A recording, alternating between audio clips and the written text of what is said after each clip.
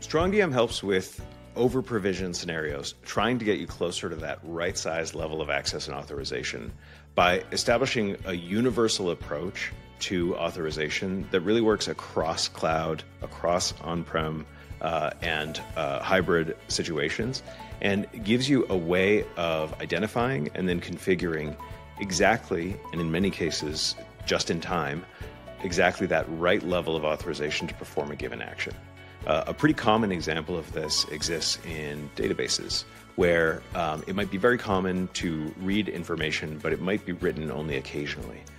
In those scenarios, the standing or even frequent level of access might restrict a given connection to be able to read some records, but then the moment you need to escalate to perform an update, uh, then you're going to be able to subject that action to authorization, including multi party authorization, and obviously um, uh, capabilities like MFA. Um, and that's going to help to tailor the profile of that user or that workload or that group to something that's much more appropriate to the way the workload is actually happening uh, while limiting the amount of time that that high level of privilege exists out there in the wild. So, so oftentimes the before state is a story of uh, for n different system types, we have n different approaches to authorization. Okay, and so this might mean uh, one regime that's responsible for some on-prem workloads, one regime that's responsible for, uh, let's say, something in AWS, and yet another regime that's responsible for uh, some workloads in Azure.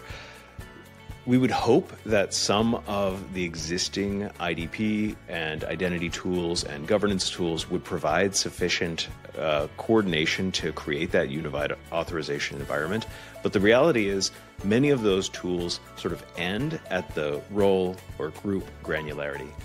Now, it's absolutely necessary to go much, much further than that when you're talking about right sizing specifically these highest privileged roles. So, for these highest privilege action, actions in the system, you need to make sure that those actions are taken with additional constraints related to uh, the device that those actions are being taken by, the MFA status of the authentication, um, and even the workflow sufficiency and completion of, for example, a multi party authorization. Um, that's the level of precision that uh, we tend to get into while also creating that uniformity so that, for example, appealing for access, regardless of what cloud, uh, goes through the same workflow. And then uh, receiving that access and then the actions that a user or workload takes are then auditable, again, in a universal way across any resource type in any of the cloud or non cloud environments.